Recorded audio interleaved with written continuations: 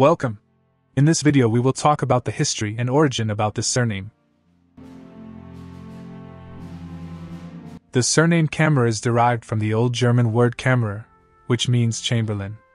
A chamberlain was the person in charge of the noble household, responsible for ensuring that the castle and court of the noble ran smoothly.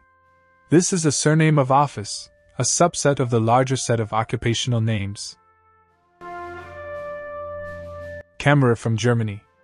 The surname Camerer was first found in Swabia, where this family name became a prominent contributor to the development of the district from ancient times.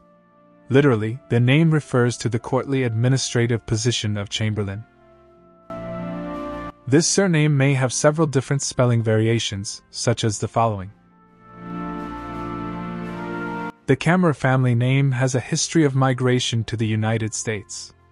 One of the first settlers of the Camerer family name was John Kammerer, who settled in Philadelphia in 1863. Notable early members of the Camerer family include Jacob Friedrich Kammerer, a prominent figure known for his talents in Greek, Latin, and chemistry, as well as his musical abilities. He was also popularly known as the inventor of the phosphorescent matchstick. In 1833, he was sentenced to two years' imprisonment for taking part in the Frankfurt Revolution and later escaped to Strasbourg, where he built a silk hat factory. In Zurich, he built a variety of factories producing matches.